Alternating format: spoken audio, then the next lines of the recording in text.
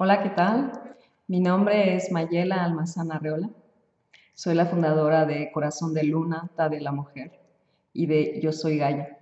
En este corto video deseamos compartir con todas las acciones básicas para realizar las vaporizaciones vaginales, que son esta técnica ancestral maya y coreana de autosanación tan importante, tan sencilla, tan económica para que todas las mujeres lo realizamos y que nosotras en Yo Soy Gaia hemos promovido ya desde hace bastantes meses, casi un año. Las preguntas importantes al realizar vaporizaciones vaginales es, por ejemplo, ¿qué? ¿Qué hierbas debo de usar para hacer mis vaporizaciones? Y la respuesta es muy sencilla. Cuando consideras que la piel vaginal es la más delgada que tienes en todo tu cuerpo.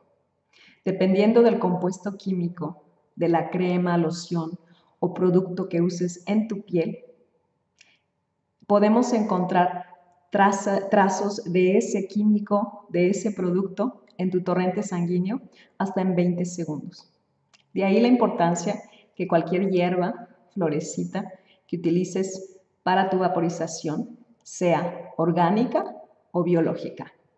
Esto no quiere decir que tienes que gastar muchísimo dinero en una tienda comprando productos biológicos si tú tienes ciertas plantas que pueden ser correctas para este tipo de uso en tu jardín, ya que tú sabes perfectamente qué utilizas para abonarla y qué utilizas cuando tienes plagas en tus plantitas. Entonces, la respuesta al qué hierbas uso para las vaporizaciones es hierbas y flores orgánicas o biológicas.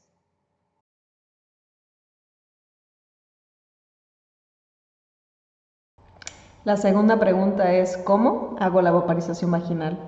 La respuesta la he dividido en dos partes. La primera parte tiene que ver con el recipiente que vas a usar para tu mezcla de hierbitas y flores. Y la segunda parte de la respuesta tiene que ver con la elaboración de la infusión misma. Entonces, ¿qué recipiente vas a usar para poner tu mezcla, tu infusión de hierbas y flores? El primer material que nos preguntan es si es correcto utilizar recipientes de metal? Y la respuesta es que no, porque he sabido que algunas plantas, algunas hierbas reaccionan con el calor y el metal, entonces mm, es preferente que elimines el metal, que no utilices metal para, para poner tu mezcla, tu, infusión de hierbitas.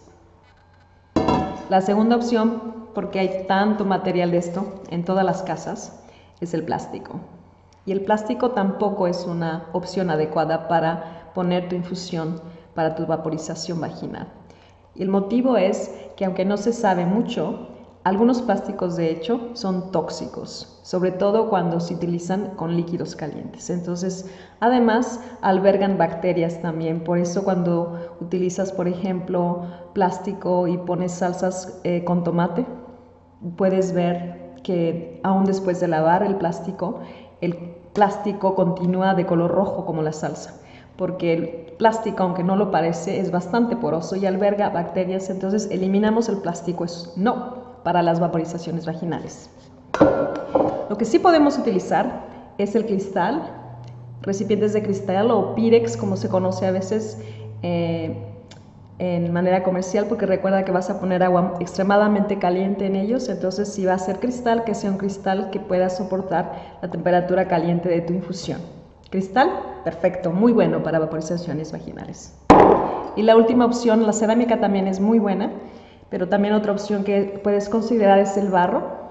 El barro siempre y cuando eh, sea un barro libre de plomo. Entonces, opciones correctas para vaporizaciones vaginales, cristal grueso, cerámica y barro, pero sin plomo. Perfecto.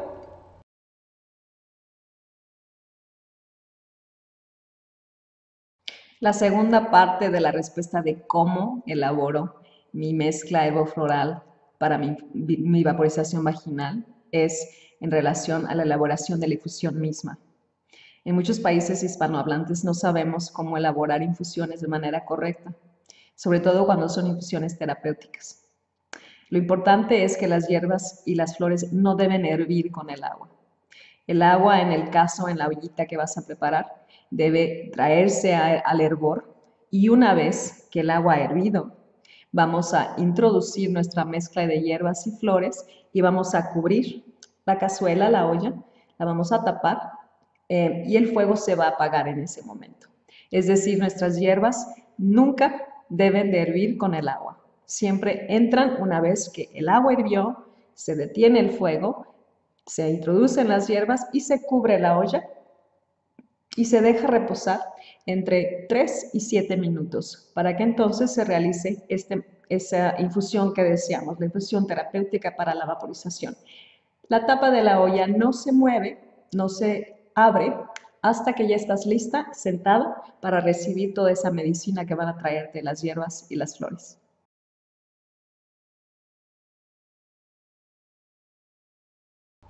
La tercera pregunta es cuándo realizar las vaporizaciones vaginales. El mejor momento para hacerlas es antes de ir a dormir.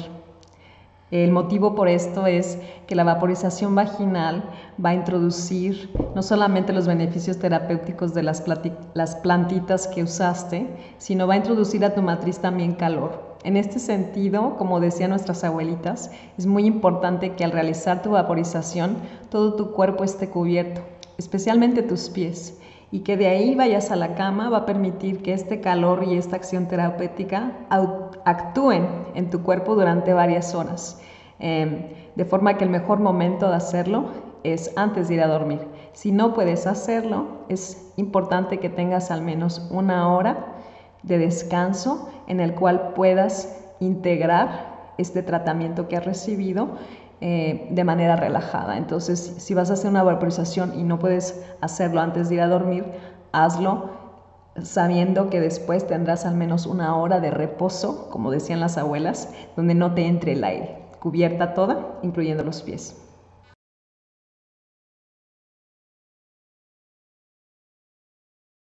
La última pregunta es ¿por qué?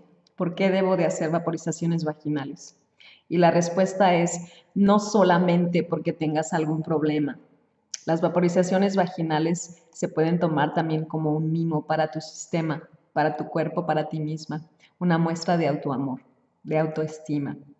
Eh, sin embargo, obviamente, si tienes algún síntoma, alguna complicación en tu aparato reproductivo, van a ser de gran beneficio. ¿Por qué hacerlas? Porque son muy fácil de hacer, porque son muy económicas y porque es una técnica ancestral que ha sido comprobada durante muchos años que beneficia a las mujeres. No, no hay evidencia científica porque no, las hierbas y las plantas no se pueden patentar como tal.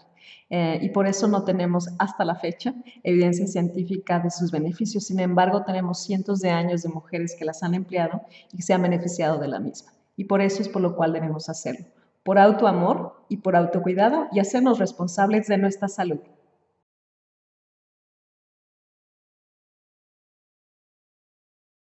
Finalmente, quiero invitarte, si tienes preguntas más específicas respecto al protocolo de uso de las vaporizaciones vaginales, visites nuestra página internet corazondeluna.com, diagonal manuales, o que nos escribas con una pregunta específica, contacto arroba yo Por otro lado, si no tienes la suerte de tener en casa o cerca de ti acceso a plantitas o hierbas, flores orgánicas o biológicas, te invitamos a que visites nuestra página también. Ahí tenemos nuestra tienda online donde puedes encontrar nuestros paquetes de Yo Soy Gaia para vaporizaciones vaginales orgánicas que están a la venta tanto en México como en Colombia, España y próximamente en Francia. Muchas gracias por escucharnos. Hasta la próxima.